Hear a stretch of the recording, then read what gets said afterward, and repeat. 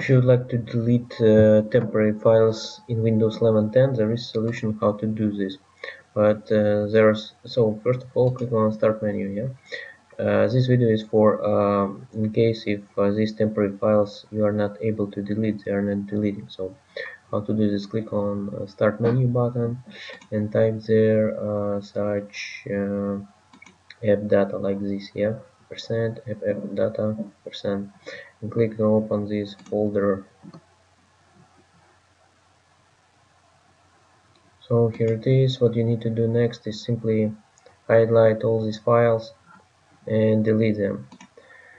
Uh, in case if these files are uh, not yeah so let's let's click on highlight and right click delete yeah. Okay let's click this tick and click on continue right? So as you can see that uh, you do you need permission to perform this section so not all files can be deleted. What else we can do in order to delete these files? So let's go to let's go back to your computer. Last moment. Yeah so let's go to your computer drive C. Yeah now let's go to Windows. And here we need to search for a file software distribution right? And click on download. Here you can uh, highlight all files and delete them all. Yeah so continue. All files are deleted now.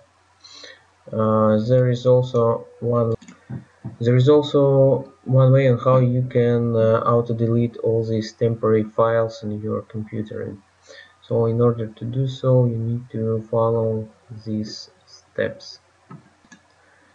Again, click on search bar, type settings, so go on settings.